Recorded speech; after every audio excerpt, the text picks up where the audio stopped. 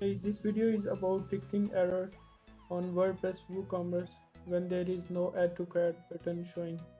As you could see, there is a product, there is no button showing up for add to cart and my shopping cart is empty. This is an error that's very crucial and on internet you need to search a lot of websites to get about its solution.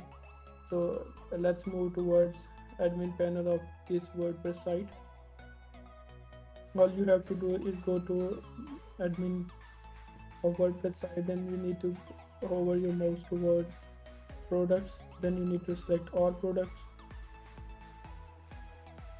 From here you need to filter out the product that you wanna uh, update.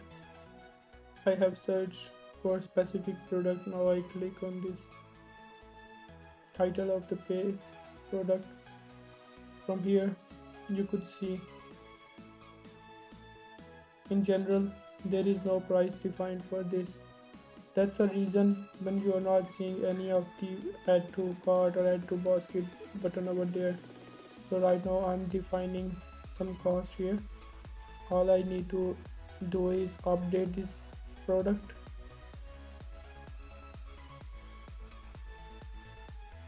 as you could see product is updated. Now i'm going back towards its view page. Right now i'm on product page and you could see add to basket button or add to cart button is appearing up over here.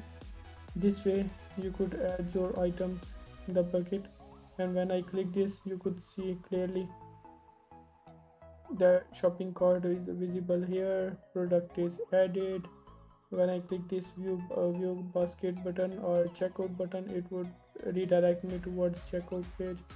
Also I can select as many uh, quantity of this product as I like and then I click on this add to basket button and you could see the quantity is updated. First I updated the one quantity and in second it was three. So cumulative it's a four items in the cart. That's a fix of this problem. Thank you